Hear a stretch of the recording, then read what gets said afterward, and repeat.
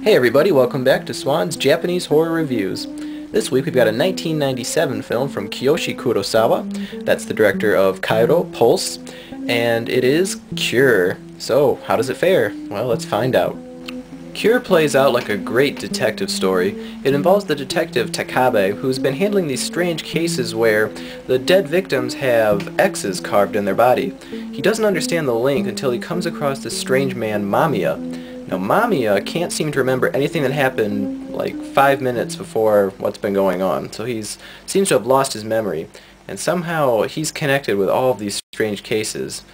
So the two enter into this game of cat and mouse, and it's really a battle of wits and uh, perseverance to see who comes out on top. So in terms of actual scares, there are a few slightly jumpy scenes, but overall uh, the director Kurosawa is more so making a very moody film. Um, it's very depressing in a lot of points, which is a lot like his other films.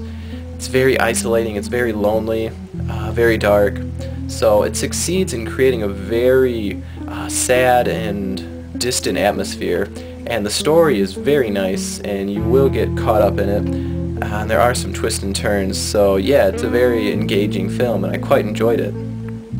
Cure is sometimes criticized as being very slow or not explaining everything. Um, a lot of fans speculate what parts of the film mean and what uh, the ending means.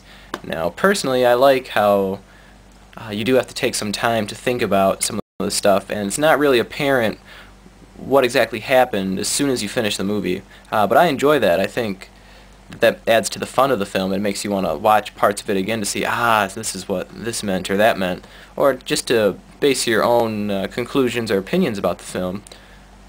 And as a horror film, it's not really a scary movie per se, but it, it like I've said, it is creating a very uh, lonely atmosphere, and I think that's uh, really, really done quite well in this film. The DVD of Cure comes to us from Home Vision Entertainment, and while the presentation-wise is very nice, the sound and video quality is great, the only real extra is an interview with the director, Kiyoshi Kurosawa, uh, but this is okay because the interview is about 20 minutes long. Uh, it doesn't add too much insight into some of the extra meaning behind the film, but it is interesting and it was a nice addition to the DVD. If you're looking for a Japanese film with an engaging story and a very downbeat mood, then Cure would be a great choice for you. If you're more in the mood for something that's very gory or very jump out of your seat scary, then you do best to look elsewhere. However, I think if you take the time to sit down and watch Cure, you'll find it's a very rewarding viewing experience. So yeah, I quite enjoyed it. Uh, very nice, I recommend it. Kiyoshi Kurosawa, great director. Um, make sure you check out Pulse as well. I've reviewed that way, way back.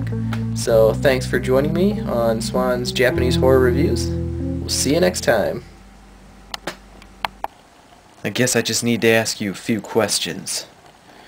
Why in the world was there an X carved in the neck of all the victims? Shiori. Well, I don't know. I mean, I really have nothing to do with this. I wasn't even uh, in the movie. Uh, Mamiya was a boy. Good point. One more question. Did the devil make them do it? Uh, what? I, I, I don't understand. Have you ever danced with the devil in the pale moonlight?